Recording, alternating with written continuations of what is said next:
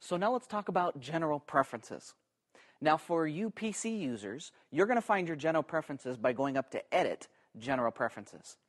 For us in a Mac, we're going to go up to Illustrator, down to Preferences, to General.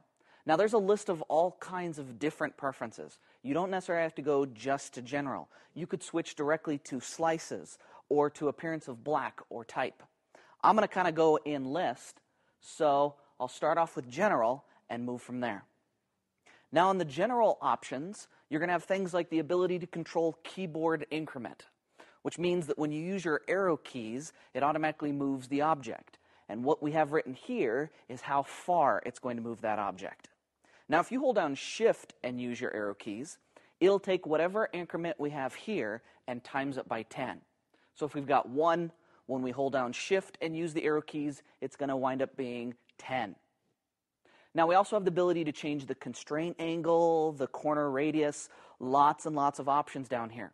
A good one is the reset all warning dialogues. As we're working today, we're going to keep seeing dialogues pop up where we have the option of not showing that option again. If you ever want to reset, all you have to do is come here, click the reset all warning dialogues, and all those boxes will actually reappear again.